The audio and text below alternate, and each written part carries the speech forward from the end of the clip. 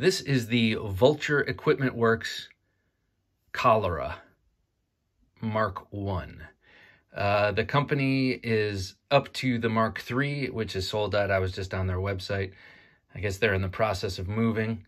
Uh, and uh, so you can't really get one of these right now.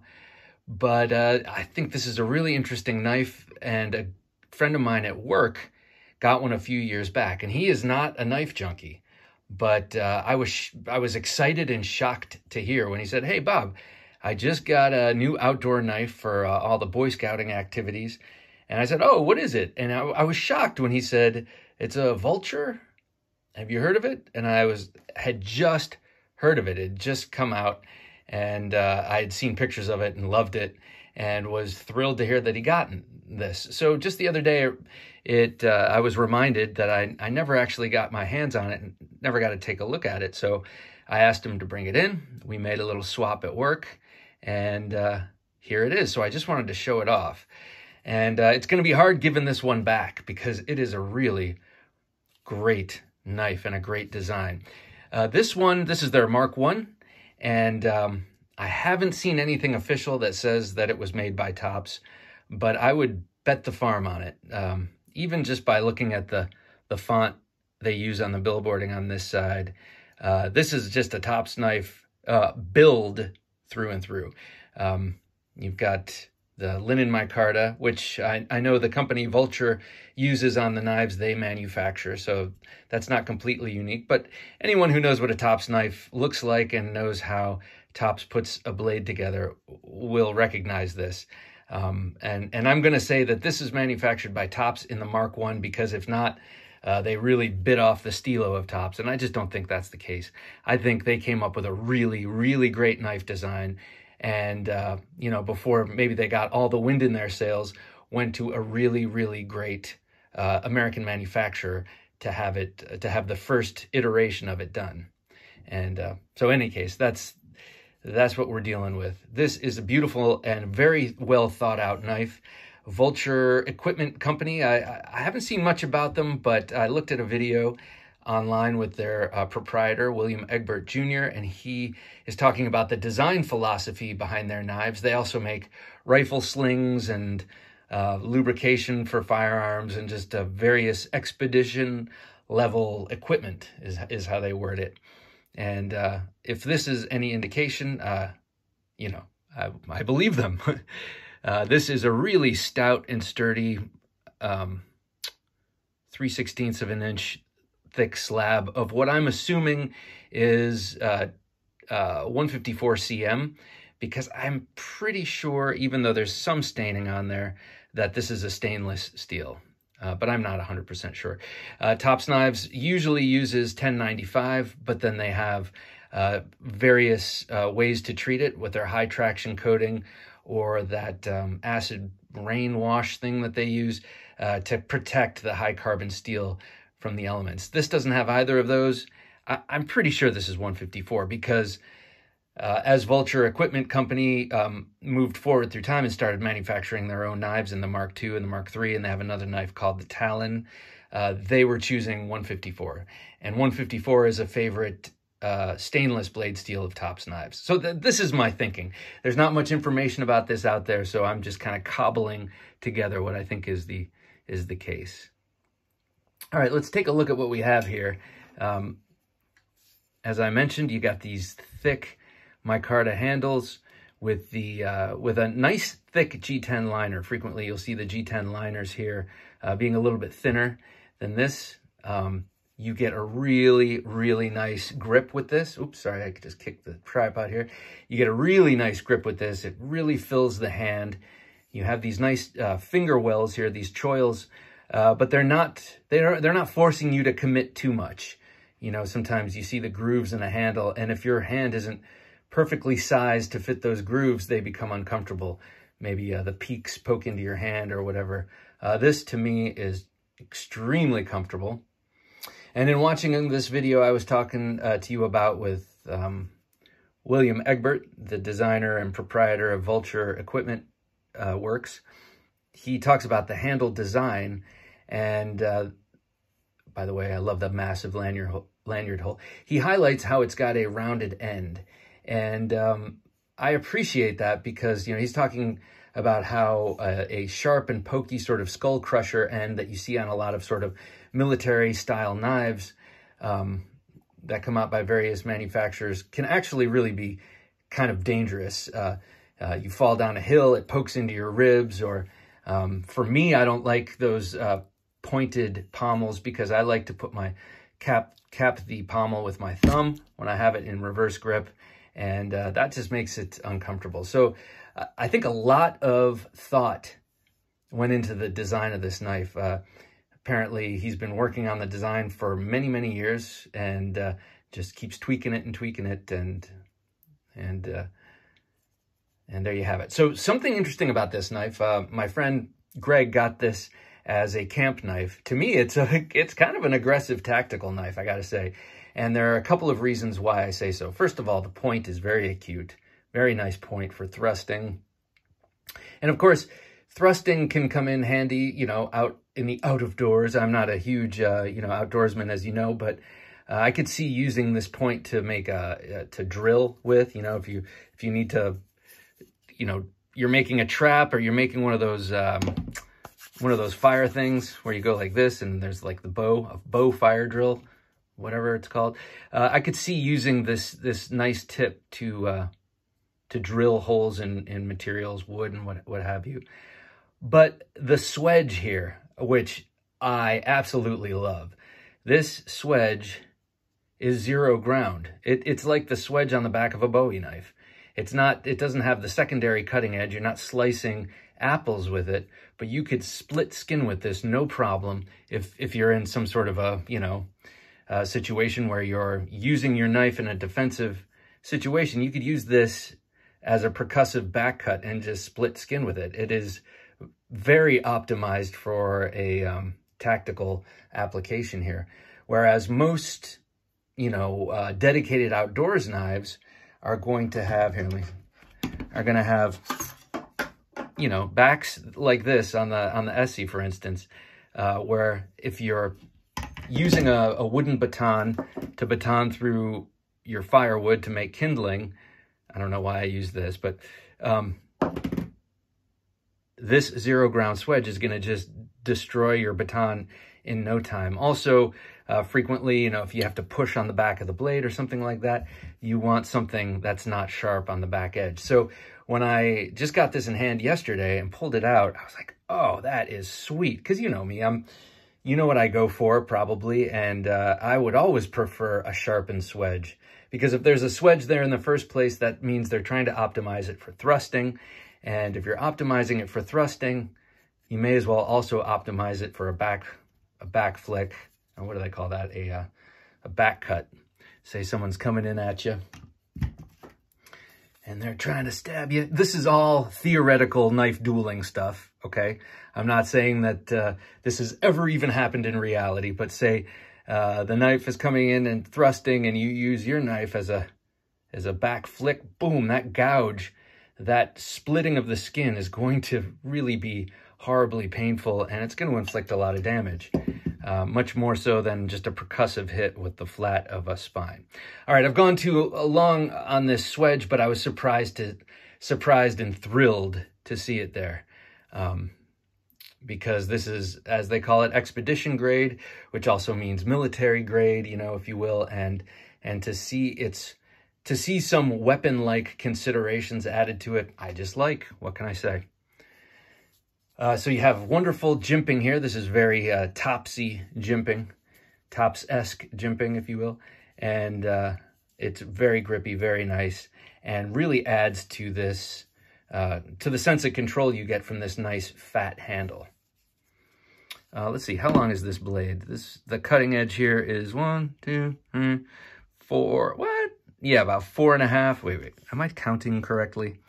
One, two, three, four and a half, almost, almost five inches uh, of cutting edge.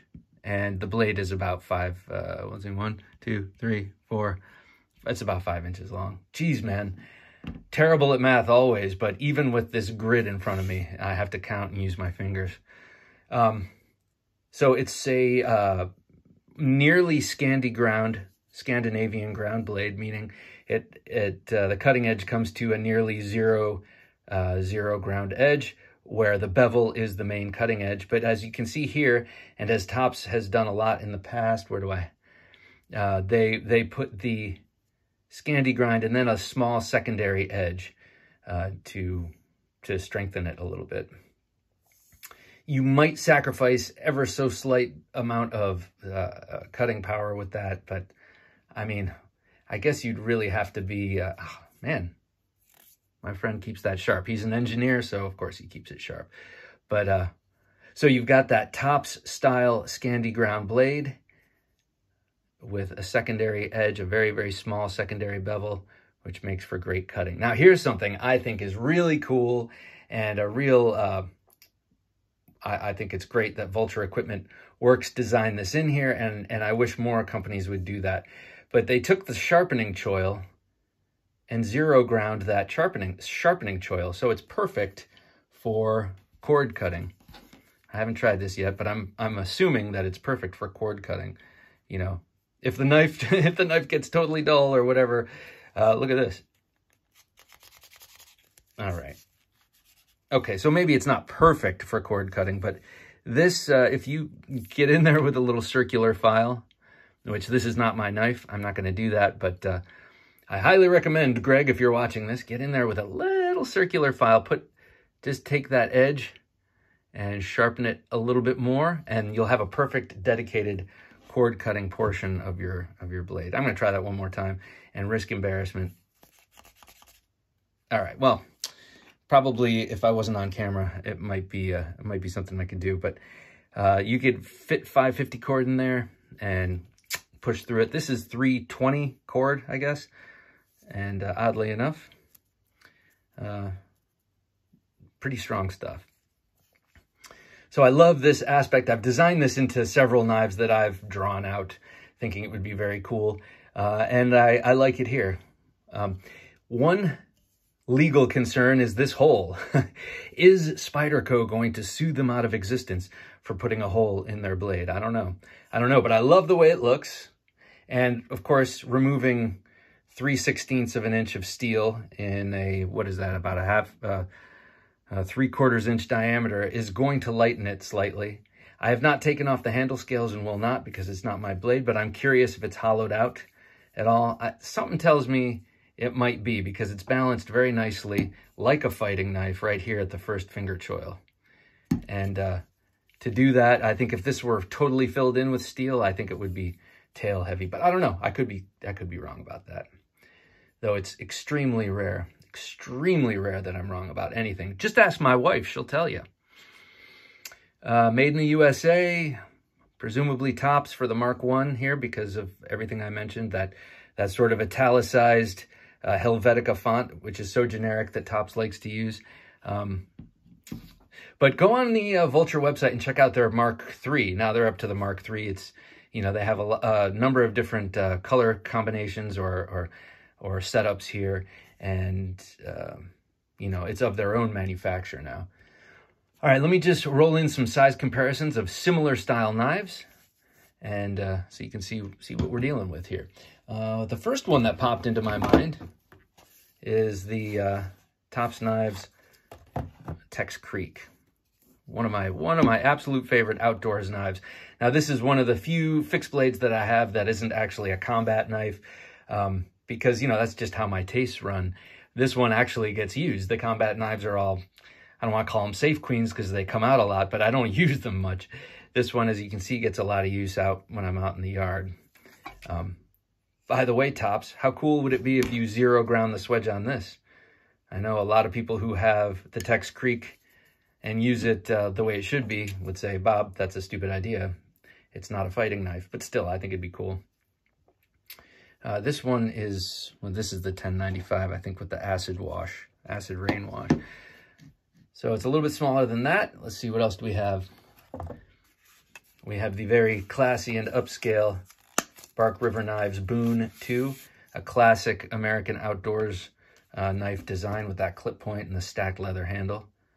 And uh, the um, convex edge is just insanely sharp. Yes, yes, I took this out and actually used this. I'm, I am, all my, I have a few Bark River knives. They're all big Bowies and I don't use them for anything. I want to keep them pristine. But this one, when I bought it, I decided I would use this and take it outside and really see how Bark River knives perform. I know they're excellent knives by reputation, by people who actually use them.